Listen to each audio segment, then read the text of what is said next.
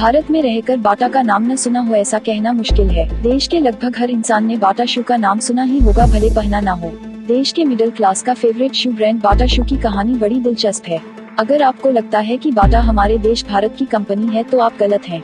साल अठारह सौ चौरानवे में चेक गणराज्य से इस कंपनी की शुरुआत टॉमस बाटा ने की थी। बाटा की शुरुआत करने वाले टॉमस बाटा की जब साल 1932 में एक प्लेन क्रैश में मृत्यु हो गई तो उनके 18 साल के बेटे ने कारोबार संभाला और विदेशों में फैलाना शुरू कर दिया। कंपनी का विस्तार करने और रबर लेदर के लिए वह साल 1935 के करीब कराची होते हुए कोलकाता पहुँचे। इससे पहले भारत में जूतों की इंडस्ट्री नहीं थी और जूते जापान ऐसी आयात होते थे। बाटा ने साल उन्नीस सौ उनतालीस में कोलकाता में जूते बनाना शुरू किया। बाटा जल्द ही तीन हज़ार जूते जूते हर हफ़्ते बेचने लगा था। इसके बाद बाटा ने पटना में लेदर फैक्ट्री शुरू की। वह इलाका अब बाटागंज के नाम से जाना जाता है। बाटा की 18 देशों में 23 मैन्युफैक्चरिंग यूनिट्स हैं। बीसवीं शताब्दी की शुरुआत में बाटा यूरोप की सबसे बड़ी शू कंपनी थी। साल 2004 में गिनीज वर्ल्ड रिकॉर्ड ने बाटा को दुनिया की सबसे बड़ी शू मैन्युफैक्चरर और रिटेलर कंपनी माना। बाटा अब तक चौदह अरब जोड़ी जूते बना चुका है, जो सबसे ज़्यादा है। बाटा के फाउंडर टॉमस बाटा के नाम पर साल 2001 में चेक गणराज्य में एक विश्वविद्यालय खोला गया।